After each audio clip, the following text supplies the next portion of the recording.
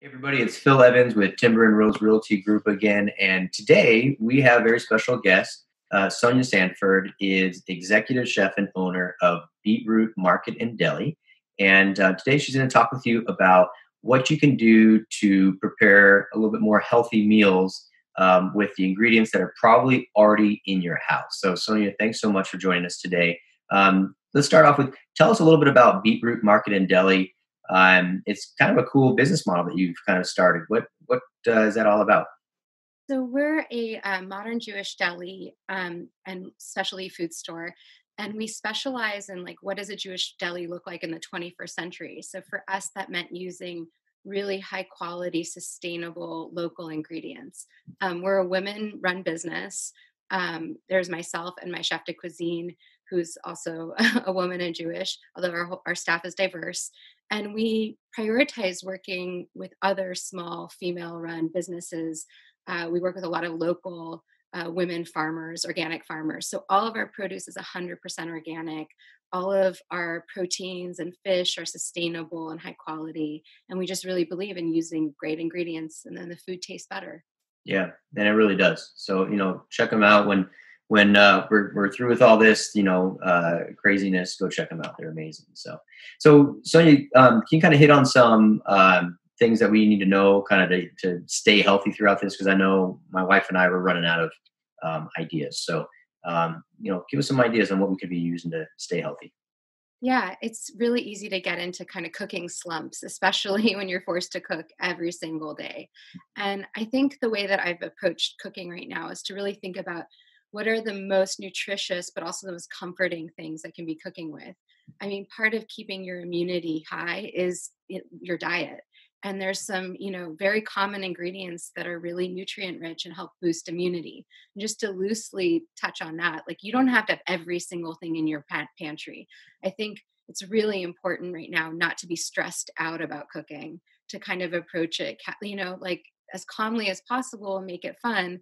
So I wouldn't worry about having every single most nutritious ingredient, but some of the ones that I've been trying to incorporate um, most often right now are garlic. Garlic, especially if you chop it and let it sit for about 10 to 15 minutes, it has enzymes that are anti-inflammatory, anti-inflammatory, and um, boost your immune system. Hmm. Uh, onions are always also good for immunity. Turmeric is one of my favorite spices. Turmeric is also an anti-inflammatory and an immune booster. It's good to mix with any kind of fat. It helps the body absorb it. Um, let's see. And then citrus, like eating fresh citrus, and then any kind of dark vegetable. So I always just use the rule of thumb: the darker the veg- vegetable, the more nutrients it has. Interesting. okay. Yeah, because we talk a lot about green vegetables, but I've never really thought about dark vegetables. Yeah. yeah so red, um, purple cabbage, beets, um, yams as opposed to white potatoes any principle like that you're like oh blueberries they're super nutrient dense. Um, so just thinking like and that doesn't mean other vegetables are bad like it's great to have cauliflower. Hi there. We were talking with sonya? This is like the guy who was like in korea and his like daughter invested in the room. Love it. This is ada everybody. Hi say hi sonya. Or say, say hi to sonya um, okay, sorry, Sonya. No, no, that's okay. Yeah, and it doesn't mean again to be nervous about it. Like we certainly eat potatoes, we eat cauliflower, we eat lettuce. Like those are all great too. But if we're talking about just like the most bang for your buck, incorporating those darker vegetables are going to give you more nutrients. So those are kind of like the basic, like you know, produce things I'm looking for, and then I'm just trying to really focus on whole foods. So that means grains, whole grains, um, lean proteins, again, you're not wanting to weigh your body down right now. You're not wanting to put extra work in your body. Red meat, um, heavy fatty food, heavily processed food just takes more energy. And again, it's also a hard and stressful time, and some of those foods bring us comfort. So, my other principle is like, okay, if we're going to go have a super comforting, not necessarily nutritious meal one night, we balance it out the next day and have something a little healthier.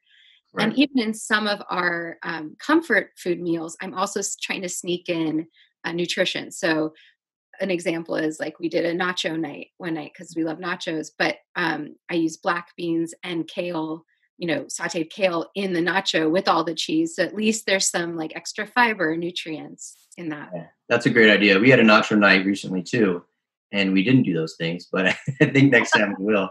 That makes a lot of sense. So, well, thank you so much. That makes that's that's great. That you know something we can think about for sure. Um, uh, hopefully, we will be back with you soon to learn more cool tricks about how to stay healthy during this time stuck at home. Thanks Thank so much, so Sonya. much. Yeah, have a great day.